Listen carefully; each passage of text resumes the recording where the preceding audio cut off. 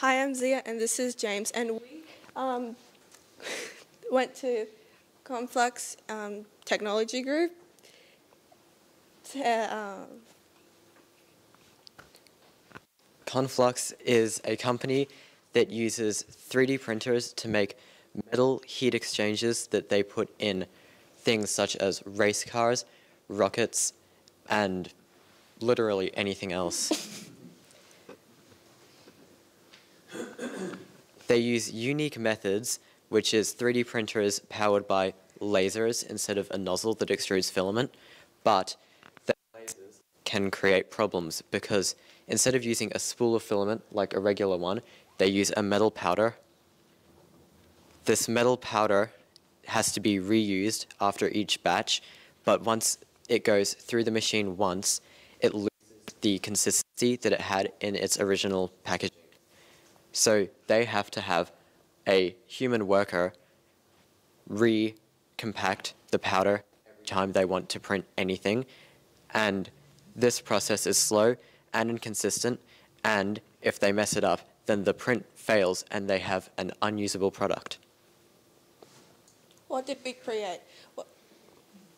We created this earthquake-like machine, which uh, what iPads, Like, which uh, makes what was the word? agitates, agitates it and basically shakes it and makes it go nice and flat to uh, reduce air bubbles and make it nice and smooth. This is a proof of concept design, so the final one will use larger motors and maybe even more, and pretty much it will do it faster, but this proves that it works. We originally had four motors, but we decided it needed another 12 because it wasn't working that well.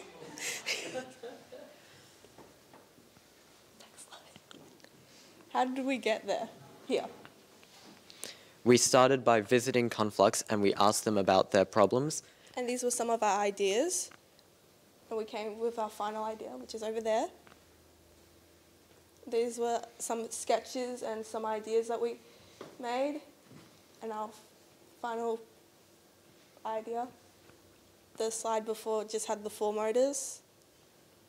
This one had the rest.